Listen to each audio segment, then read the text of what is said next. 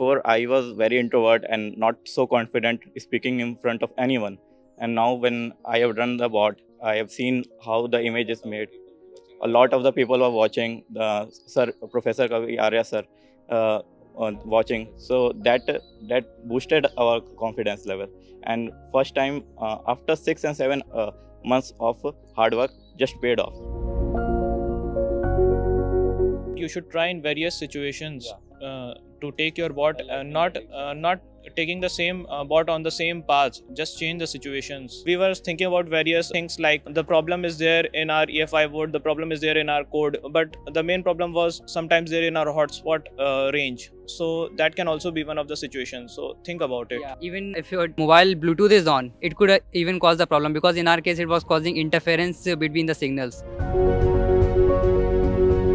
EYRC was the motivation of my senior only because he in increased his knowledge from 100% to 200% and still we are on the level of 10%. We don't know anything about it. So we thought that to start some process, you need to have some motivation. You have to push yourself when you come along to this journey in the eYantra, you will see that it is different from all other competitions. It is something that we have focused and gave, gave us six months. Even sometimes we trade off with our semester exams that yes, tomorrow semester exam we will do somehow. This is the best thing when you indulge, you will know that this is the best that you could ever feel and saw.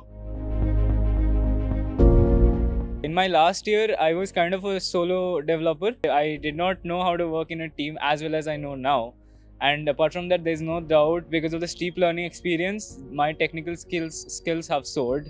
I personally know how to handle people better talk to people better or even manage schedules. Just be a better all-rounder. And i'm really glad that this kind of competition exists that gives us a scope to develop technical skills as well as by personality if your teammate is giving a call that you think is wrong or maybe you have something better just give some time to it and maybe you can correct him or her later on. That actually reduces a lot of conflicts and will save you a lot of time. In fact it will buy you a lot of time in terms of constructive thinking.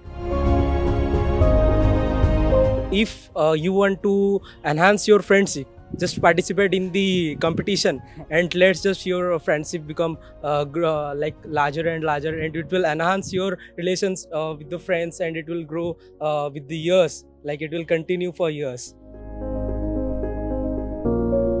before EYRC, I was afraid of breaking some stuffs or uh, create something new or try something uh, from a newer angle. By participating in EYRC, uh, so I learned that breaking the stuff is also okay. We can always learn from trying uh, some new methods. Learning by burning. So we burned lot of controllers, lot of uh, drivers, but it was knowledgeable to how to use that components. We were second last year uh, in soil monitoring bot team. So after that, uh, faculties uh, recognize us, principals were, were recognizing us. Other uh, students uh, were looking at us that he is good in hardware, he is good in software. He has achieved his expertise in that.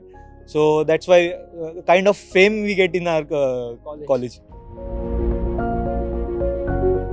During interview of mine, the all that we we talked about was last year's EYRC and uh, the interviewer only asked question about that and I was selected with that. So during placements it definitely gives us the upper edge uh, by mentioning it in the resume about the EYRC.